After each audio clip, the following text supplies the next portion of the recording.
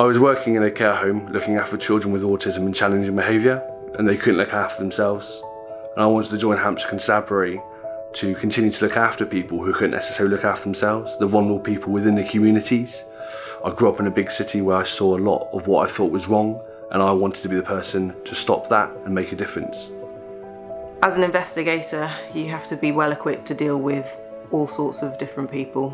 You have to be able to speak to victims, to witnesses, to suspects, and you have to be ready to have some difficult conversations with those people. The best thing about my job is that no two days are the same. I can simply go from managing a critical incident to supporting a staff member in a time of need. I have to be able to be patient, be helpful, and have respect for all the people that come to my counter.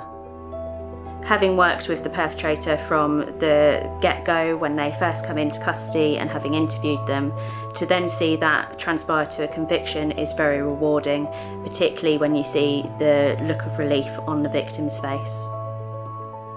Compassion. Problem solving. Resilience.